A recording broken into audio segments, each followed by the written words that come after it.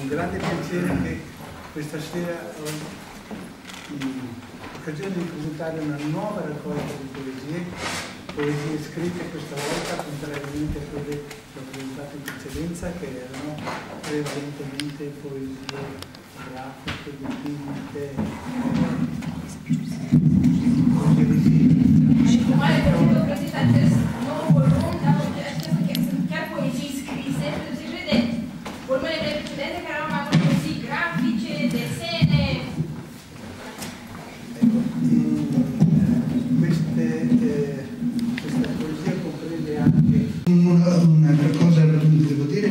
ringraziare la, Irina eh, Turcano che si è occupata a tradurre queste poesie in romeno, quindi sarà un omaggio che farò sul sito di Uliza, che voglio fare qui alla in questa occasione.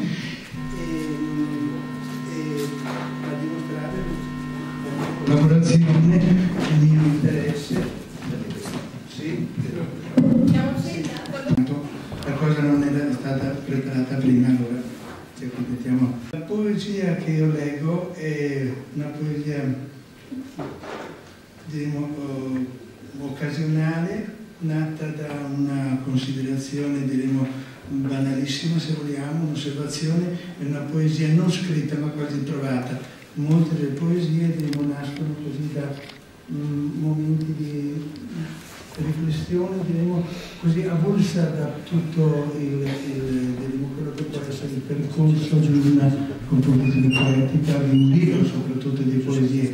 In particolare qui questa non vuole essere una serie di poesie postate una all'altra, ma la pretesa di essere un libro. Il titolo è molto impegnativo perché mm, tocca tanti temi, ma in particolare quello che mi sta molto a cuore è appunto il gruppo dell'ozono e l'ecologia e la nostra responsabilità che abbiamo nei confronti del pianeta che ci ospita e che non sempre, anzi ben poco, stiamo rispettando.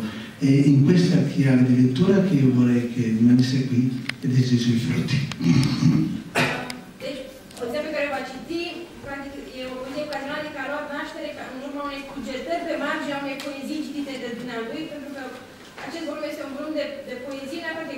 Practic un continuu, da? Sunt multe cugetări și titlul este foarte important pentru acest volum, o, o, o, Generația Ozon, da? Pentru că dumnealui, da, e foarte implicat în această problematică a ecologiei și a lumii în care trăim și a pământului.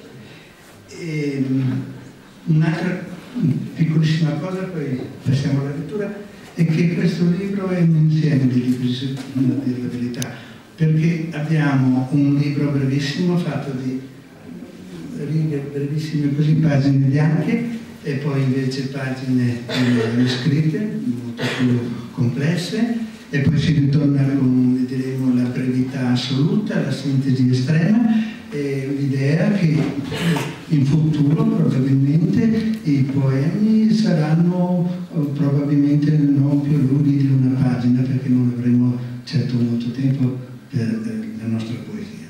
Quella tradizionale intendo, no?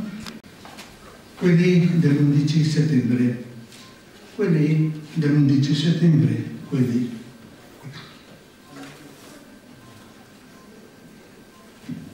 e continua. Quelli del 197 si credevano più vicini al cielo, erano solo più lontani da terra.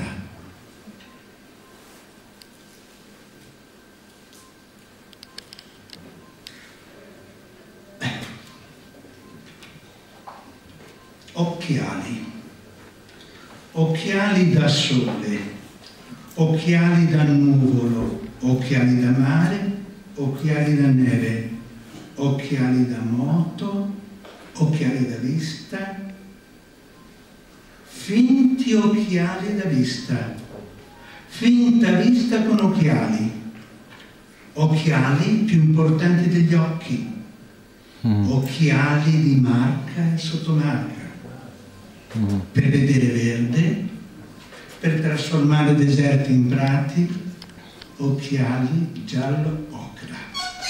per vedere alla Van Gogh, occhiali blu per immaginarsi lassù, occhiali per chi rimane a livello terra, occhiali antifumo, ah. occhiali anti-acido, occhiali anti-smog, occhiali antiproiettile e antisfondamento per vite pericolose e operose che fabbricano occhiali perché hanno contato uno ad uno tutti gli occhi del mondo.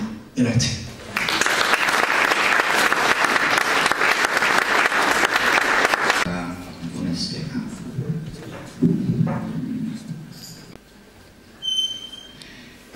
O zi fără rituri îmi traversează strada. Lorenzo îmi spune că nu-i timpul pierdut și să mergi poate peste proiectele arhitecților ghinioniști. Medicina aduce în stradă poeți profesioniști. Mozaiștii dau o anumită statură. Au fixat un vis pe pereții gării la picioarele mele care va rostogolește un soare de mă face să mă împiedic, să mă împiedic, să ard.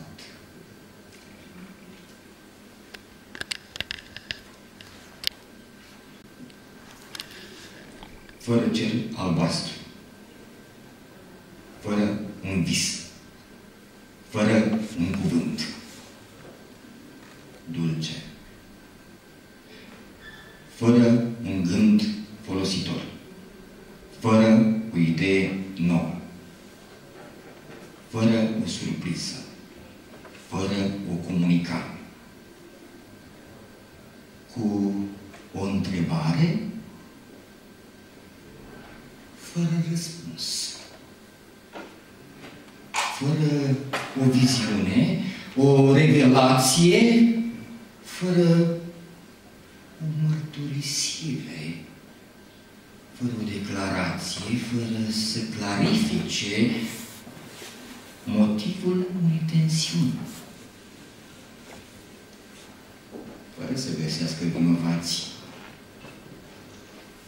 Cu determinare împușcând în lume fără arme, fără tancuri, fără avocați, încercuiți la pământ, adunați, fără perspectivă, fără ordine, cu toată intenția de a se face iubit, vorbim direct cu Dumnezeu.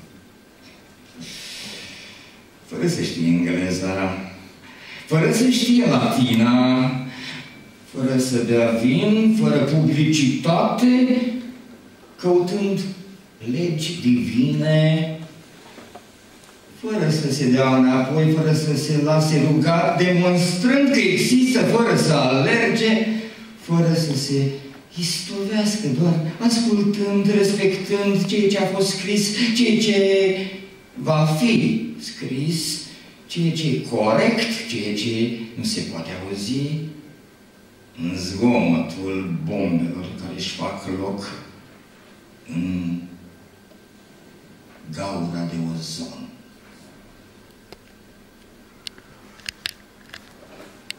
Să predai capul frizerului, să te lași tu în schel,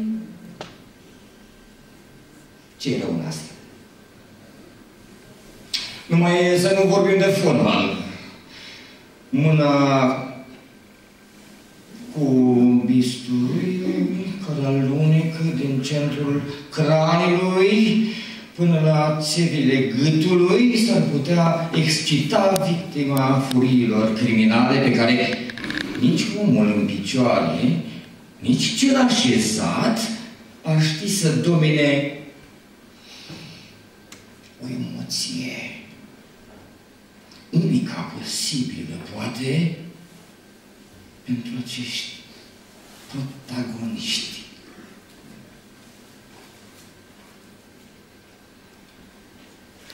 Eu le-aș citi pe toate, că mi dragi. Cine a ajuns fără să știe ce înseamnă să ajungi. Unde ajunge?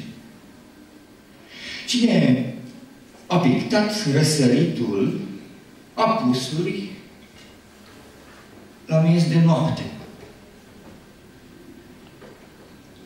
Pe când soare și se plâng de mirosul de terebentină, care strigă împotriva lui Dumnezeu, care s-a dus să stea la înălțime, ca să nu mai audă un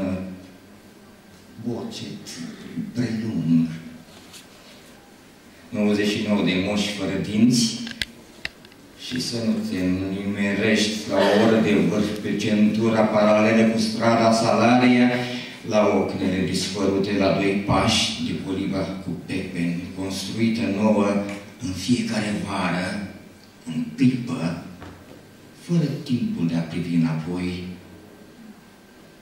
cine trăiește asta dinăuntru, unde trebuie, unde poate